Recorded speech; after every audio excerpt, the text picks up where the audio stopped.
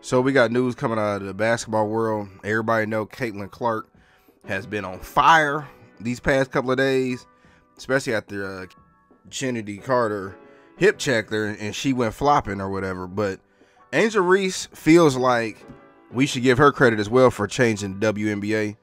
I'm gonna play this audio and then I'm gonna come back with my thoughts. I think so many watching women's basketball right now. It all started from the national championship game, I've been dealing with this for two That's true. now. And understanding, like, yeah, negative things have probably been said about me, but honestly, I'll take that because look where women's basketball is. People are talking about women's basketball, you never would think that we'd be talking about women's basketball. People are That's pulling up true. to games. We got celebrities coming to games, sold out arenas, like just because of one single game. And just looking at that, like I'll take that role. I'll take the bad guy role, and I'll continue to take that on and be that for, the, for my teammates. And if I want to be that, and I know I'll go down in history, I'll look back in 20 years and be like, yeah, the reason why we watching women's basketball is not just because of one person. It's because of me too, and I want y'all to realize that. Like it's not just because of one person.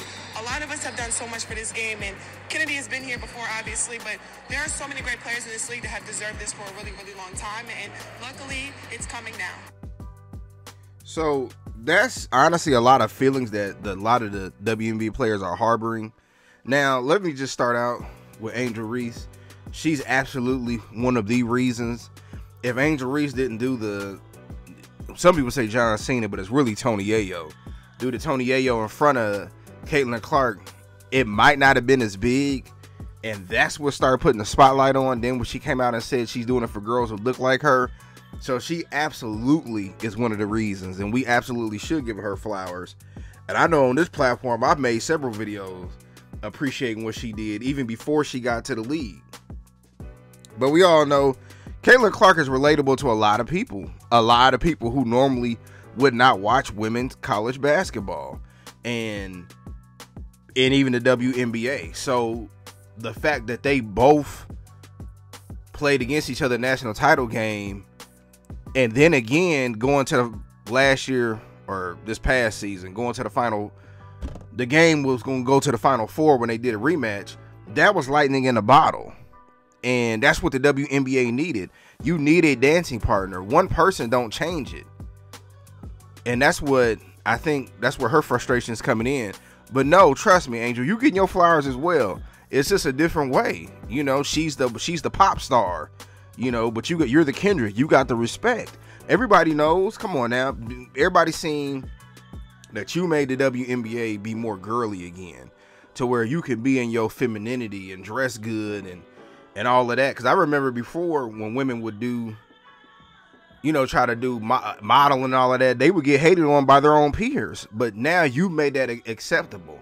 You made the WNBA draft look more acceptable and relatable because you know, a lot of these girls now walk around with dresses and skirts on. They might more more more or less consider playing basketball, which y'all know how the basketball WNBA was ran prior to all of this. So looking back in 20 years, you absolutely will be one of the reasons. And again, Angel's in a she's in a great spot. She's in Chicago, a city with more people that's relatable. It's a big market team.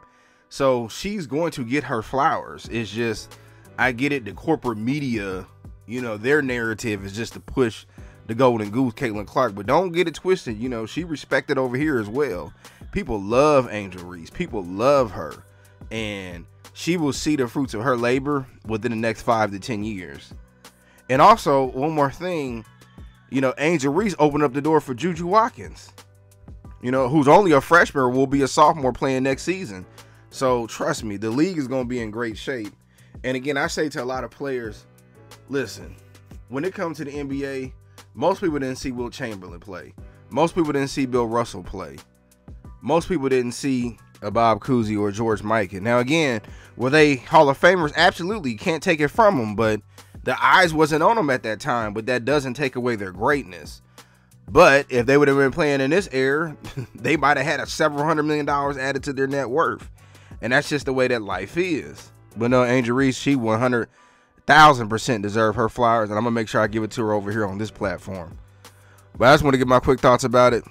Tell me what y'all think.